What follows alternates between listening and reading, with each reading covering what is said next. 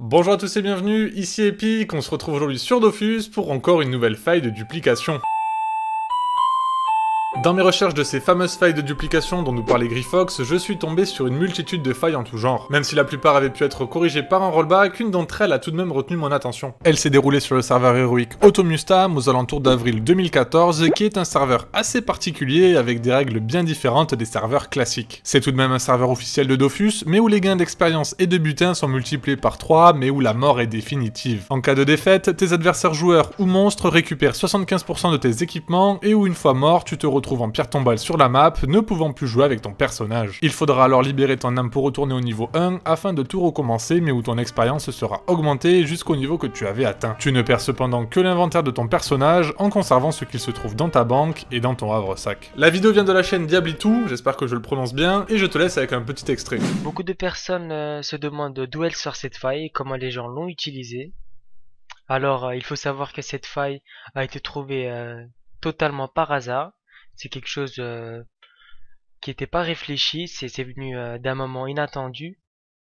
Je vais vous expliquer cela juste après. Sinon, euh, faut aussi savoir que je ne fais pas cette vidéo comme si c'était un exploit. C'est surtout pour vous montrer comment ça se fait que, que je suis mort et comment ça se fait que cette faille duplication est apparue.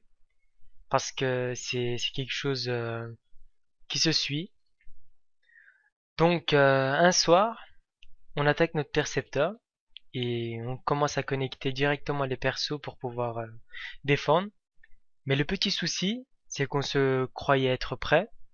Et lorsque l'on rejoint et on constate qu'il y en a un qui, qui dit ne pas être stuff pour pouvoir rejoindre, il y en a un autre qui, qui pas à faire ses logs.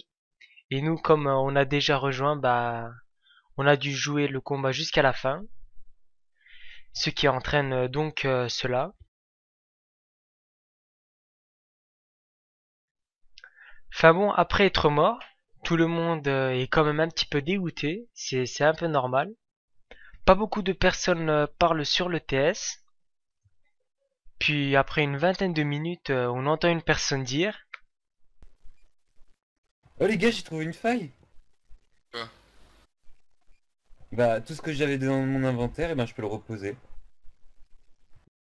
On prête euh, pas vraiment attention, puis après quelques minutes, on se demande si c'était réellement une faille ou et que c'était vraiment possible de dupliquer quelque chose.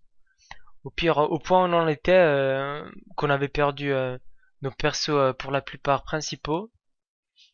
On s'est dit tant qu'à faire, autant essayer, même si vous avez raison, c'est pas vraiment la meilleure solution mais avec le dégoût et tout ce qui s'ensuit, voilà ce que ça a donné.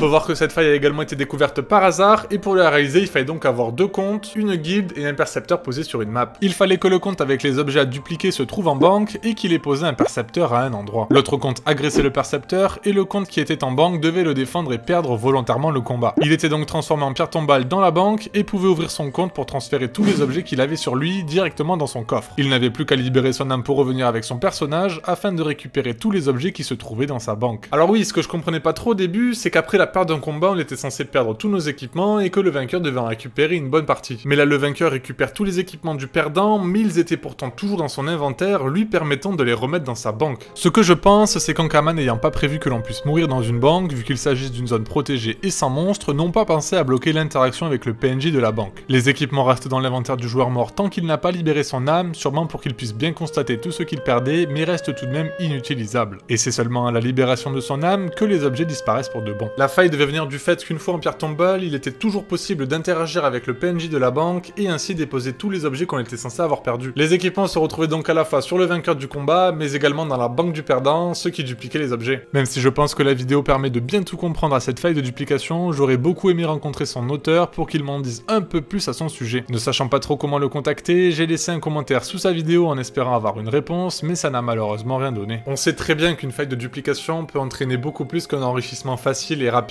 Elle peut aussi donner lieu à la forge magie d'équipements aux statistiques complètement démesurées. On n'en saura malheureusement pas plus sur l'utilisation de la faille, mais il y a apparemment eu un rollback de deux jours pour annuler tous les dégâts que la faille avait provoqués. Mais avant tout, un petit désolé aux personnes euh, indiquées qui ont soit juste euh, subi la faille euh, contre leur plein gré, c'est-à-dire en achetant soit des items, des ressources, les personnes auxquelles j'ai raconté un petit peu n'importe quoi, et aux personnes qui ont perdu tout simplement deux jours de jeu du rollback.